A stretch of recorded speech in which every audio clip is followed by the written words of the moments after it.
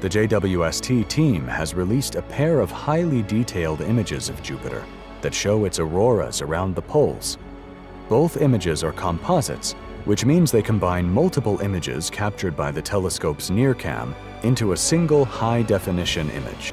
Jupiter's faint rings, as well as two of its moons, can be seen in the wide field image. Amalthea is the bright dot on the far left, and Adrastea is the faint dot at the edge of the rings, located between Amalthea and Jupiter. The faint dots of light behind the three celestial bodies are thought to be galaxies. The second image is a close-up of Jupiter, which was captured using three different filters to capture the details of its stormy atmosphere, including the glowing auroras.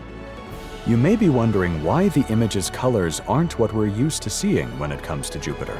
Well, the JWST sees light in the infrared range, not the visible range.